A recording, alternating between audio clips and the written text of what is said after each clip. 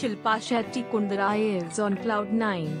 She along with her husband Raj Kundra made a surprising announcement about welcoming a baby girl into their family via surrogacy and it left everyone elated.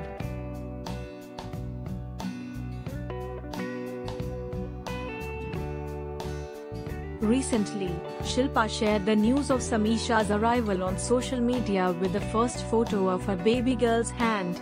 Shilpa mentioned she had come up with the name Samisha at the age of 21 as she always wanted a girl.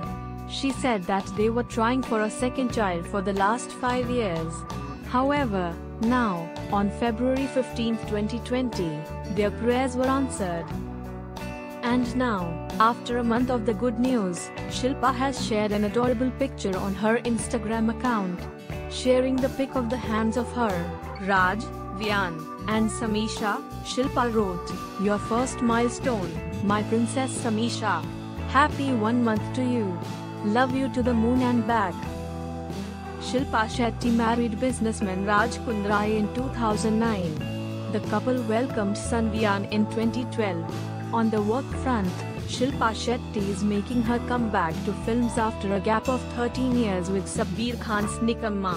She will also be seen in Hungama 2. News Desk